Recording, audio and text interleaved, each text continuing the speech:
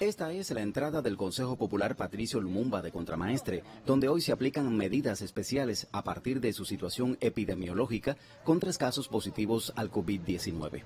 Aquí se realiza la desinfección con solución de cloro de todo el personal que entra y sale del Consejo Popular y no solamente las personas, sino todos los medios de transporte. Al mismo tiempo, se asegura el abastecimiento y la distribución de alimentos para evitar el trasiego de personas. Esta operación se realiza con la participación de fuerzas y medios de salud pública, el MININ, las FARC y las organizaciones de masas. La población consciente de que estas medidas son para proteger su salud coopera disciplinadamente.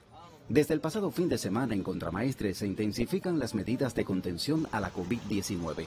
Entre las nuevas acciones está la desinfección de superficies, de calles e interiores de viviendas en cuatro áreas estratificadas, donde se pesquisa al 100% de la población. El Consejo de Defensa en el municipio llama al cumplimiento riguroso de estas disposiciones con el fin de proteger lo más importante, la salud de los contramestrenses. Ricardo Chacón Rubio, Sistema Informativo de la Televisión Cubana.